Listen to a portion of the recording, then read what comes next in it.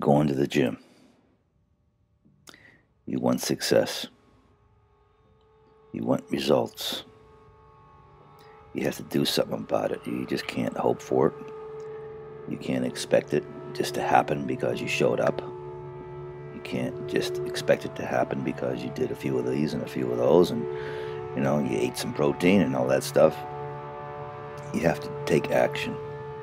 You have to demand it from the universe. You have to demand it from your workouts and insist that it happens right now, here and now. And without that kind of lead up, I mean, you're just spinning your wheels. You're not really doing anything. You're just pretending to be some kind of bodybuilder or something like that. week before the gym, week before the workout, you have to be thinking about the workout. The days before, you have to just all of a sudden daydream about what it's going to feel like.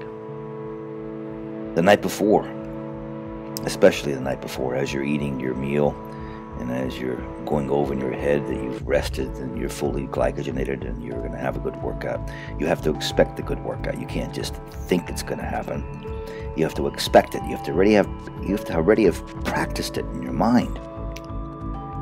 In your mind, in your workout, you have to imagine what the bar is going to feel like in your hands or on your back. You have to have this kind of mental rehearsal to get any kind of results. You just can't go there on gym day and go, okay, I'm here, I showed up, I'm going to do a few of these and a few of those, and take your pre workout thing and then all that stuff. You have to do a lot more than just show up. The night before the workout, okay, you're thinking about it. You're envisioning the workout. You've practiced it many times, multiple times already the week before. Even though before the week before, you've already thought about it in your mind to some degree. You had some kind of reference point. You had some kind of daydream.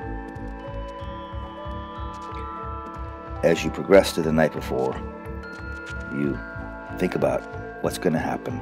You've already done it, but you're thinking about what, how you're going to bring it to fruition, how you're going to bring it to reality. And you go over the daydream in your mind eat good, make sure you get your rest. On the way to the gym, you have to start getting those sweaty palms. You have to start getting anxious. If you don't get anxious anymore and all you do is listen to some kind of music or something like that, and you're just thinking that you're doing it, you're not doing it. Turn around, go home, if that's the case. Do something else, take up another sport. Something that's not so hard. You just can't show up, you just can't pretend. You have to demand from the workout that you're going to get results. And you have to have workouts in your brain already before. You have to have the results already in your brain before you can get there. You have to expect success because you rehearsed it in your brain, in your mind. You get to the gym, you've had sweaty palms, you're anxious, your heart's beating faster when you get there, it's like you're a kid in the candy store. There's the machine, there's the squat rack, or there's the exercise I'm doing over there. When you're warming up, when you're stretching, you're not just stretching, you're getting in the mood, you're getting ready to accept the challenge, you're, you're, you're getting ready to do what it's going to take. And it's going to take all of you. It's going to take every ounce of your being, everything you got. And if you give it any less than everything you totally got, you're not totally spent, you're not doing enough. When you get to the point and you got five more reps, you get five more reps. But then you got five more. And somehow, by some act of God, and you're you're praying to God that you have to get five more reps, you do and you will whenever you got five more reps, usually you have 10. You can't just say, oh, okay, I got five more reps. It has to be five more reps. It has to be everything within you has to be able to go to the table, go to the bar, go to the rack, go to the exercise you're doing and demand it, insist it. And you have to become the muscle. You are the muscle. The muscle, you're an addict. The muscle is an addict for workouts. The muscle is an addict for tension. The muscle is an addict for stress on the muscle. And when you get to the gym, you're the addict, you're the muscle. Life as you know it doesn't really not exist anymore. All you are is a muscle that of intention. You're the muscle you're thinking about. You become that muscle, and all that matters and all that you care about in the world is, is tension and going after each and every single rep and executing each and every single rep and getting more when you say you can't, and getting five more reps when you're done, and even getting five more reps when you think you're done.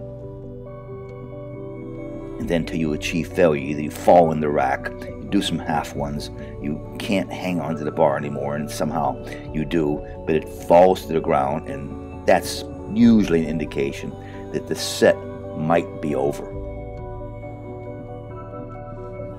This is what you have to give it. You have to give it this much, otherwise, why are you doing this in the first place? You're not going to get results. Even if you get lucky, you get some kind of small facsimile of maybe results. But you dress nice, maybe, you eat the protein. You have to demand it. You have to promise yourself. This is it right here. You have to promise yourself that you will not ever be a failure you have to marry this thought pattern. So when you get to the gym, I don't care if you're on your deathbed and you're dying and it hurts and anything, you have to promise yourself before you get there that you are not going to go home a loser. I would rather die than acknowledge to myself that I'm that loser. There is nothing that I won't do. There's nothing that I won't do to avoid being a loser. And if you think you could have done more, you're a loser. I do not ever want to go home from the gym going, I'm a loser. I could have done more. I should have, could have. You have to make a promise to yourself that you will never, ever go there or do that.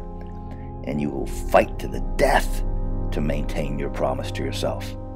The nice thing about bodybuilding is you're not just competing with another human.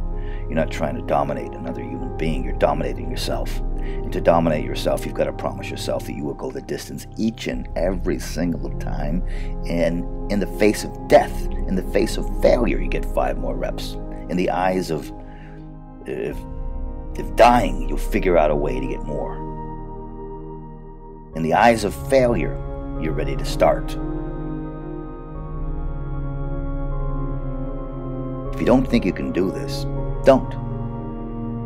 If you are doing it and wonder why you're not getting the kind of results you you should be getting or would like to have, this is what you got to do. This is what you have to do. I am. There is no question in my mind. You have to be to this point in your life where you go, there's no question. This is what I got to do. I'm going to do it and I'm going to get results. Or I'm not going to do it and I'm going to do something else. You decide.